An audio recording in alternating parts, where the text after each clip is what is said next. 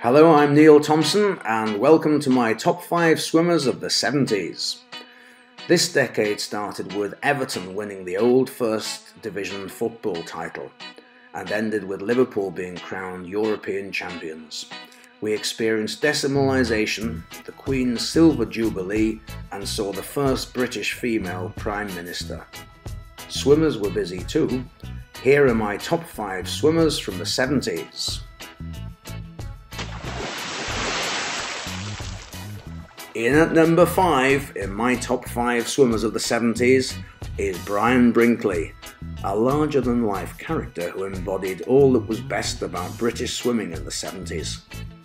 Brian Brinkley represented Great Britain in the Olympics, World Championships, and European Championships, and England in the Commonwealth Games during the 70s. Brian Brinkley won a total of 13 medals in major international swimming championships, his success came mainly in the freestyle, butterfly, and medley events. In the 1976 Montreal Olympics, he won a bronze medal in the 4x200 metres freestyle relay. He was a great team man. In the 1974 Commonwealth Games, he swam for England in six events, winning a medal in each one of them. He won gold in the 200 metres butterfly.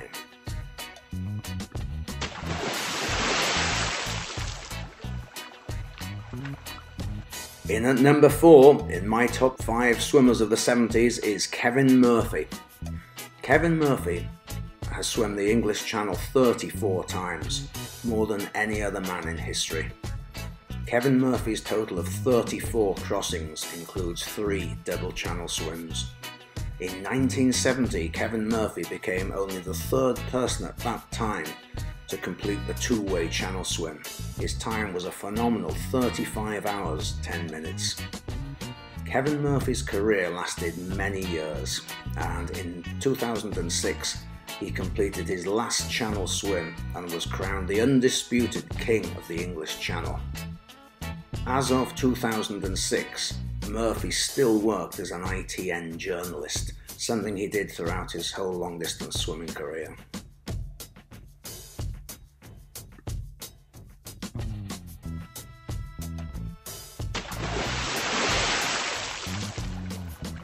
In at number three is David Wilkie.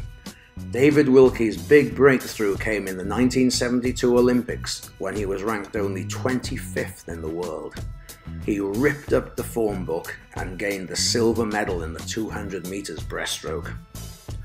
Wilkie's finest hour came after several years of intensive training while studying at the University of Miami Wilkie hmm. won gold in the 1976 Olympics in the 200 metres breaststroke in a world record time of 2 minutes 15 seconds. His world record was unbroken for six years. He was British Sports Personality of the Year in 1975, and he was the first swimmer to wear a swim cap and goggles together in competition. He was said to have worn the goggles because of an allergy and the cap to keep his long hair under control.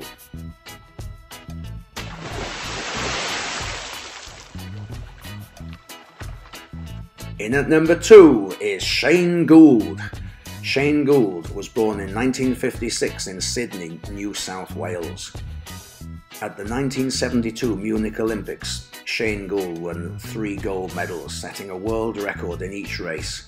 She also won a bronze and a silver medal. She's the only person, male or female, to hold every world record from 100 metres to 1500 metres freestyle and 200 metres individual medley records simultaneously. This was from 1971 to 72. At the age of 17, Shane retired from swimming, citing pressures placed on her by success and media profile. Over 20 years later, Shane returned to competitive swimming as a masters swimmer in her 40s, setting numerous Australian and world records. In at number one is Mark Spitz, born 1950. Mark Spitz won nine Olympic gold medals, two in 1968, and a phenomenal seven golds at the 1972 Olympics in Munich. Mark Spitz expected to win six goals in 1968 but underperformed. He came back in 1972 to win seven goals, setting a world record in each event.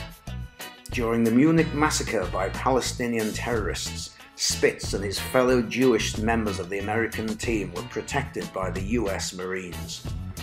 Spitz, nicknamed Mark the Shark by his teammates, retired from swimming after Munich aged only 22.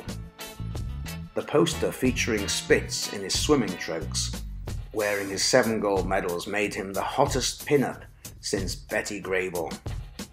He kept his famous moustache for so long as people became so used to it and expected to see it. When he shaved the moustache off, his wife Susie said, he looked great with it, but he looks so handsome without it. Decision made.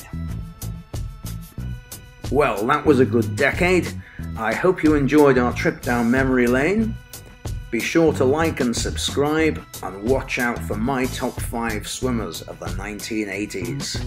Enjoy your swimming!